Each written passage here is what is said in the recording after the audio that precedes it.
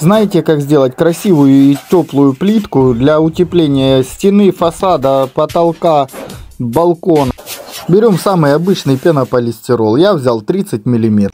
И вот такой вот дремелек. У кого нету, можно заменить паяльником. Или небольшим шуруповертом. Есть полистирол сразу с бороздками, что намного облегчает работу, если вы будете делать рисунок в виде кирпича или дерева. Прорезаем вот такие бороздки глубиной примерно 5 миллиметров. Это все делается очень быстро. Если делать кирпичи, то можно так и оставить. Я решил подзаморочиться и сделать фактуру дерева. Чтобы панель была гладкая, можно немножко ее зашлифовать. Как всегда прокрашиваем, разводим акриловую краску с грунтовкой. Краска одна часть, акриловая грунтовка две части. Грунтовка с краской впитывается в пенопласт и поверхность становится намного жестче. Далее с помощью губки наносим акриловую краску для наружных работ вот такими вот протирающими движениями. И пробегаемся самым светлым тоном по всем швам, чтобы подчеркнуть фактуру.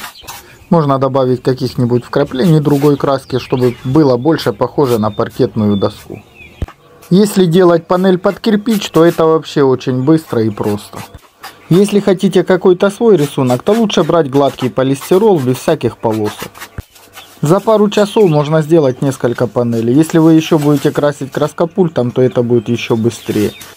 Один лист пенополистирола 600 на 1200 миллиметров. Посчитайте, какой кусок стены можно сделать практически там за несколько часов. Я хочу утеплить потолок на веранде, поэтому я буду клеить на акриловые жидкие гвозди. Крепится все легко, поэтому никакого мусора, клея и шпатлевки. После поклейки троечки пенополистирола, я думаю, потолок станет намного теплее. А как вам понравилась идея? Напишите в комментариях.